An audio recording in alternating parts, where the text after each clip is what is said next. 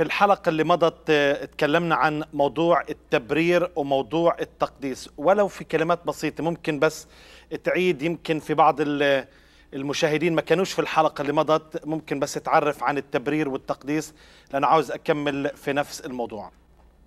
قلنا إنه الخلاص يبدأ بالتوبة والتوبة بيتبعها أربع أشياء. آه، في نفس الوقت ياخدهم الإنسان الخاطي بعد ما يعترف للرب بخطاياه ياخدهم في نفس اللحظة.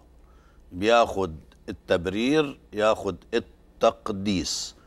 وقلنا إنه التبرير ما في كأنه الإنسان ما عملش خطية اطلاقا. المسيح حمل خطاياي في جسده على الخشبة وأنا لما اعترفت المسيح بخطاياي أخذت التبرير أخذت بره أخذت قداسته أسلك ببره وأسلك بقداسته ويغير في طبيعتي القديمة يجعلها طبيعة جديدة. اذا إن كان أحد في المسيح فهو خليقة جديدة. تبرير وتقديس أيضا.